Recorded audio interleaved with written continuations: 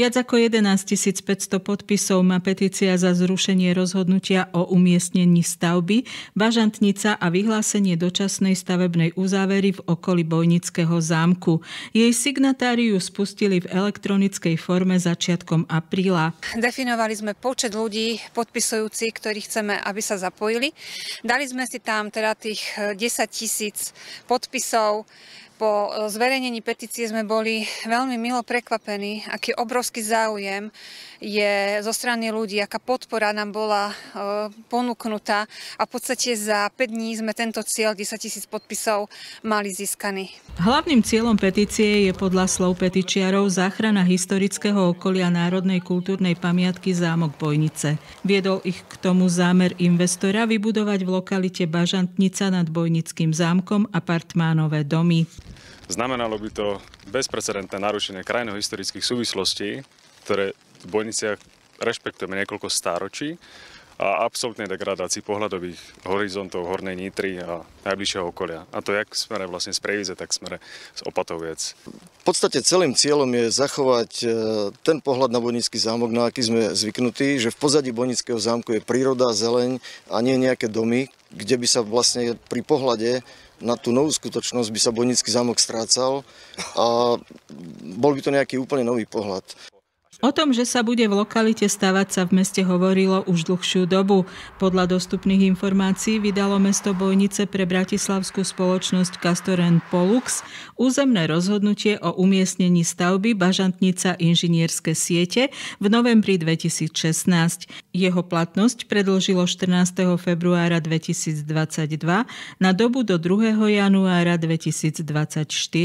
Stalo sa tak v čase, kedy mesto spracováva nový územný plán, kde by malo byť územie nad zámkom definované ako územie prírodného charakteru a stavať by sa tam nemohlo.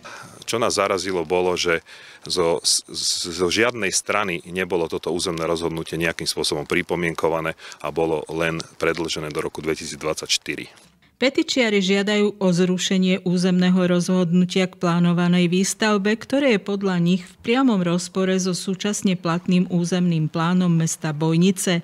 Majú dôvodné podozrenie, že územné rozhodnutia boli vydané v rozpore s platnou legislatívou.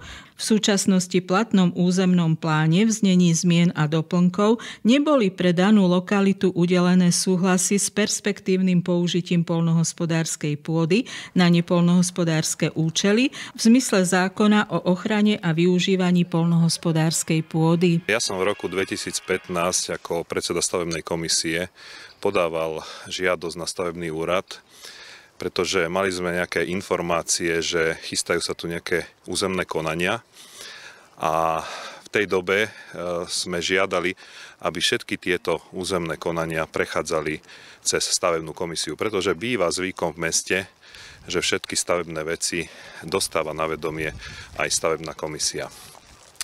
Bohužiaľ, neudialo sa tak a neboli sme informovaní o týchto prebiehajúcich konaniach a na konci dňa v podstate sme nevedeli, čo sa pripravuje a v akom je to štádiu. Aj keď sme sa pýtali na zastupiteľstve, bolo nám povedané, že nie sme účastníci konania. Eh, ja som navrhoval jednu vec, že mesto je účastník stavebného konania, každého jedného, ktoré prebieha na území mesta a preto som navrhoval, aby bola, eh, boli eh, títo poslanci a členovia komisie informovaní, ale bohužiaľ neudialo sa to. A to, že tu sú vydané územné rozhodnutia, sme sa v podstate dozvedeli až pri tvorbe nového územného plánu, kde nás o tom informoval spracovateľ nového územného plánu, pretože túto lokalitu už zakreslil ako zastavané územie. Bojnice majú platný územný plán z roku 1997, vrátanie zmien a doplnkov z roku 2006. Ten ale podľa petičného výboru takmer vôbec stavebnú činnosť nereguluje, neudáva jasné pravidlá. Keďže v súčasnosti prebieha proces tvorby nového územného plánu, ktorý do úspešného ukončenia môže trvať ešte 1-2 roky, považujú petičiari za riešenie situácie vyhlásenie dočasnej stavebnej uzávery v okolí Bojnic Košického zámku? My sme dávali už návrhy na stavebnú záveru. Ja ako poslanec som podával jeden návrh na stavebnú záveru, ktorý bol zrušený zo strany prokuratúry a prokuratúra ma informovala, že ja to ako poslanec nemôžem podať a musí to podať primátor mesta. Na čo sme teda samozrejme primátora vyzvali, a dali, mesto dalo aj spracovať taký dokument k stavebnej uzavere, ale vo veci sa zatiaľ nekonalo, pokiaľ viem. Svoje stanovisko k petícii nám poskytla spoločnosť Castoren Polux a ďalší investori projektu Bažantnica Bojnice prostredníctvom svojho zástupcu. Petíciu za zrušenie právoplatných rozhodnutí o umiestnení stavby v lokalite Bažantnica Bojnice, vydaných v súlade so zákonom a územným plánom mesta Bojnice, považujeme za účelovú a súvisiacu s predvolebnou kampaňou určitých osôb skrývajúcich sa za aktivistov pred komunálnymi voľbami v oktobri tohto roku. Toto tvrdenie však iniciátori petície odmietajú. Vzniklo to kvôli tomu, že spracovateľ nového územného plánu na prerokovaniach nás informoval, že sú tu vydané územné rozhodnutia. My sme naozaj tieto informácie nemali, takže preto práve teraz, pretože v tejto chvíli aj prebieha spracovanie nového územného plánu. Zástupca investorov sa vo svojom stanovisku odvoláva na platný územný plán, ktorý vyčlenil na tomto území plochy pre výstavbu a určil k tomu príslušné regulatívy, ktoré stavebný úrad premietol do územných rozhodnutí. Podotýkame, že v dotknutom území mesto Bojnice pozemky nikdy nevlastnilo a všetky pozemky sú v súkromnom vlastníctve, preto je regulácia územia možná len územným plánom. Keďže pozemky v tejto lokalite vlastníme už viac ako 15 rokov, projekt sme pripravovali postupne, pretože našim spoločným záujmom ako investorov bolo riešiť danú lokalitu veľmi citlivo. Zámerom nikdy nebola a ani nie je výstavba bytov, ale ubytovania penziónového typu celkom 10 apartmánových domov, ktoré budú slúžiť návštevníkom bojníc a teda rozvoju cestovného ruchu. Zástupca investorov ďalej uviedol, že majú vydané právoplatné územné rozhodnutia na komunikácie, objekty a aj inžinierské siete pre projekt. V rámci konaní sa vyjadrovali všetky orgány a organizácie vrátane Bojnického zámku, pamiatkového úradu, dendrologov, ochrany životného prostredia. Všetky tieto vyjadrenia boli kladné. Väčšina územných konaní bola zverejnená verejnou výhláškou, takže sa k ním mohla vyjadriť aj verejnosť. Spochybňovanie postupu a kompetencie mesta a stavebného úradu v územnom konaní účelovými tvrdeniami v petícii považujeme preto minimálne za nenáležité. Slovenské národné múzeum, Múzeum Bojnice, bolo účastníkom konania iba čo sa týka územného rozhodnutia v prípade inžinierských sietí, pretože sme dotknutí, keďže časť, vlastne tá kanalizácia má viesť popred zámok vlastne cez Zámocký park, ale čo sa týka územného rozhodnutia práve v prípade e, výstavby tých apartmanových domov tam účastníkom konania sme neboli, čiže sme sa nejakým spôsobom nemohli ani nevyjadrovali. Podľa slov riaditeľa múzea dlhodobo upozorňovali mesto Bojnice pri každom rokovaní o územnom pláne na jeho nekoncepčnosť. Múzeum navrhovalo, aby celá lokalita bola využívaná ako prírodno-krajinársky celok. Bývalý riaditeľ mal taký nápad vlastne s realizáciou nejakého areálu po vzore Dobšinského rozprávok a tak ďalej. Čiže nejaký areál, ktorý by slúžil naozaj vere, celej verejnosti.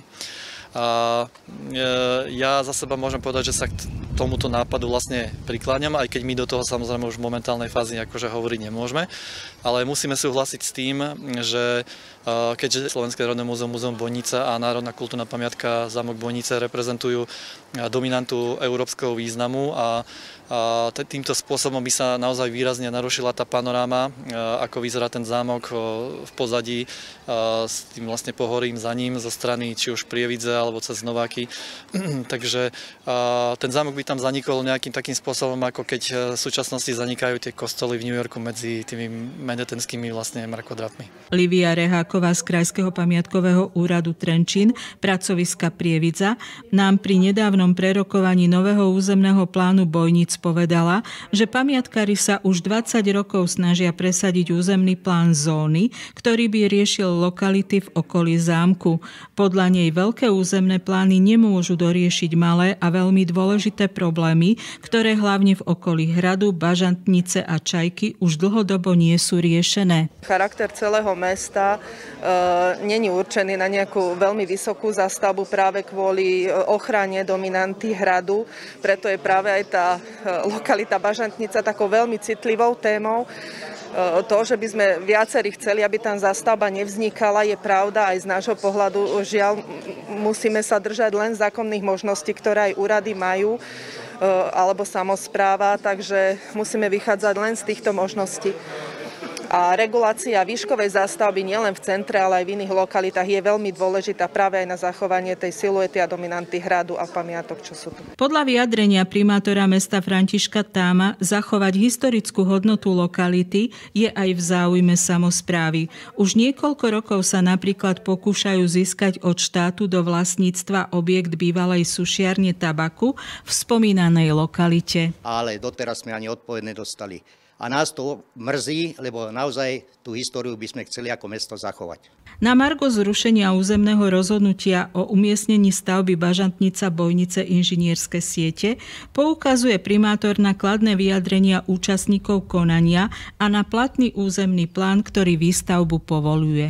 Ako sa môže zrušiť, keď dodržia zákon, všetko je na poriadku. Tí plochy, čo tam majú, a majú to fyzické osoby, ktorí dostali niekedy reštitučné spätné pozemky a potom ich predali. Stavebný úrad robí výkon pre štát a oni musia dodržiavať zákon. Ja si myslím, že súčasné vedenie nemá s tým určite nič, lebo však to, vtedy sa to tak ošetrilo jednoducho, bolo to schválené VZN-kom, hej, takže momentálne situácia taká, aká je. A môžu zastávať tej plochy, čo sú majú, tak Krajský pamiatkový úrad dal na to 10 s otázkou, či má spoločnosť Castoren Polux vydané aj platné územné rozhodnutie a stavebné povolenie k plánovanej stavbe apartmánových domov, sme sa obrátili na oddelenie stavebného poriadku Mestského úradu v Bojniciach. Dostali sme nasledujúcu odpoveď. Ide o súkromný záujem a aktuálna legislatíva dáva vlastníkovi právo nakladať so svojím majetkom tak, že môže konať, čo nie je zákonom zakázané a nikoho nemožno nútiť, aby konal niečo, čo zákon neukladá. Štátne orgány, činnosť mesta ako stavebného úradu je prenesený výkon štátnej správy, môžu konať iba na základe ústavy v jej medziach a v rozsahu a spôsobom, ktorý ustanoví zákon. Petičný výbor sa rozhodol v týchto dňoch petíciu ukončiť. Zašle ju ministrovi životného prostredia, ministerke kultúry, ministrovi dopravy a výstavby, Slovenskej stavebnej inšpekcii, primátorovi mesta Bojnice, ako aj Bojnickému mestskému zastupiteľstvu. Zároveň ich pozvu, aby sa prišli pozrieť na tvar miesta. Aby jednoducho sa pozreli na, na to, čo sa tu má stavať, aby zaujali stanovisko, aby, aby nám pomohli riešiť túto situáciu. Je to dôvodu toho, že e, nevieme sa dostať k informáciám, e, nie sme až takí odborníci, aby sme vedeli e, posúdiť, že to, ako je územné rozhodnutie schválené, či je to všetko v poriadku a podobne. Čiže žiadame týmto o pomoc.